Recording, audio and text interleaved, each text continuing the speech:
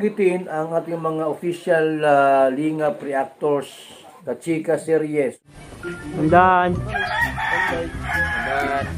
Mga kalinga, papagpalang gabi po sa ating lahat. Marami pong salamat sa mga nag-subscribe dito sa aking YouTube channel at saka sa mga patuloy na nanonood sa aking mga video, mga silent viewers ko pong patuloy na sumusuporta po sa akin.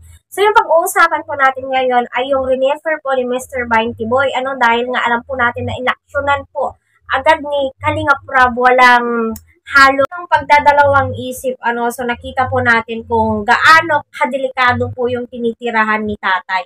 So kung uulan ng malakas at humangin ng napakalakas ay pwedeng pwedeng mapahamak po si tatay. So ayan na po no, nakita po ni Kalinga Prab yung sitwasyon niya at makikita po natin na nakakaawa po talaga si tatay at ayaw din niya pong manirahan doon sa kanyang mga kapatid dahil ayaw din niya po malanghap yung mga marumi dahil nga po kalapit lang po daw ng mga CR doon. So napakadelikado daw po sa kanyang kalusugan dahil kagagaling niya po sa ospital. Kaya naisipan niyang magtayo o gumawa ng bahay doon sa may puno ng mangga ang pagkakaalam ko noon. No? So makikita po natin na may mga grocery pa po si tatay. So medyo kumurot yung puso ko ano dahil nga may mga ganitong tao na grabe po yung hirap at sila na po yung naghahanap ng way kung papaano sila uh, matulog pero ang pagkakaalam ko is comfortable naman po si tatay doon sa kanyang tinitirahan pero alam po natin napakadelikado po yon so panoorin po natin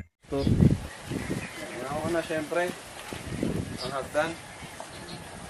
Tayo, okay lang sapatos? Yung doorbell. Yung doorbell, huwag kalimutan. Yung doorbell tay. Ano, may sensor. Pag si tatay nag, ano, automatic na bukas.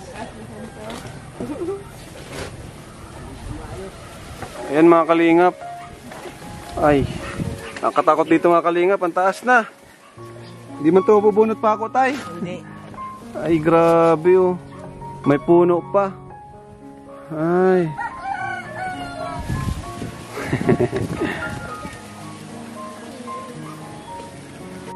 Ah, Parang yung sunod. grabe mga kalingap. Kabada. Ang taas. Madilim. Madilim.